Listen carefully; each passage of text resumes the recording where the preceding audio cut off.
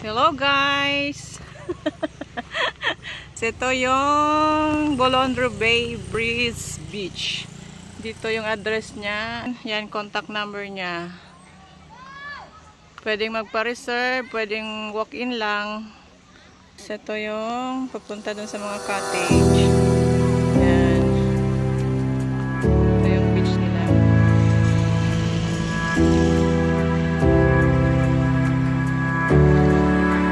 Dito lang yan sa Kapuukan, Leyte.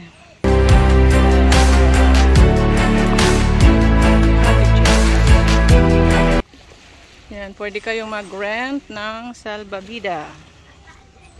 Here. Ito yung function house nila. Oh.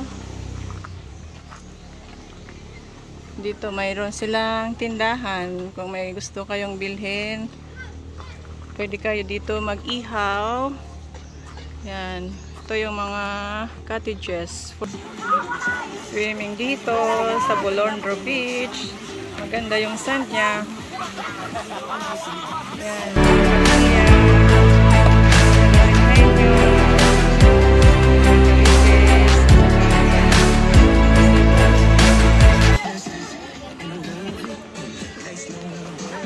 Oh, adira.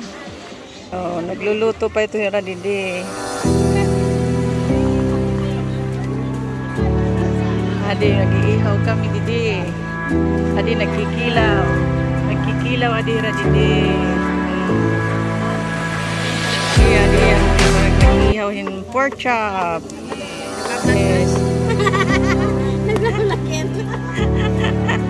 Adi, may kuan kami. O, karasa. Yung mga isda. Very healthy ang pork chop. Very healthy ang pork chop. Ang pork chop ay natuturo ang mantika. Nira toilet. Yan. 400 era cottage. Free entrance. Mosa nira beach.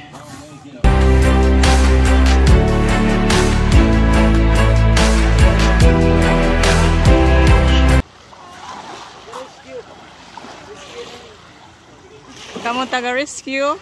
Awadi ko nila mga taga-rescue. Floating cottage nila 1,000.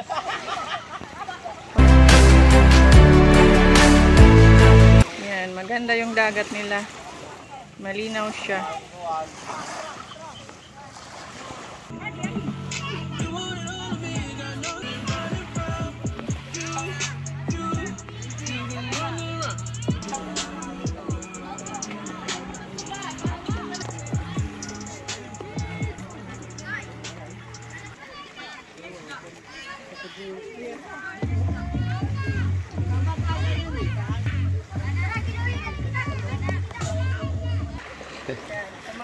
Mga pamilya to, isang pamilya kami, isang batalyon. Na ano, punta.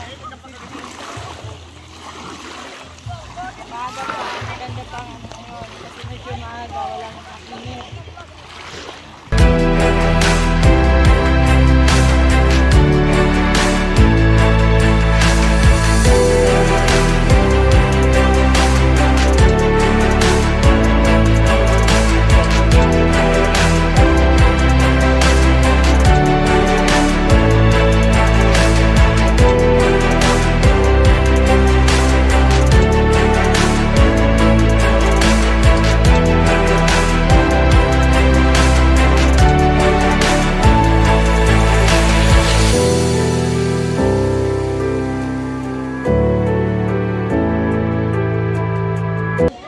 Melchior.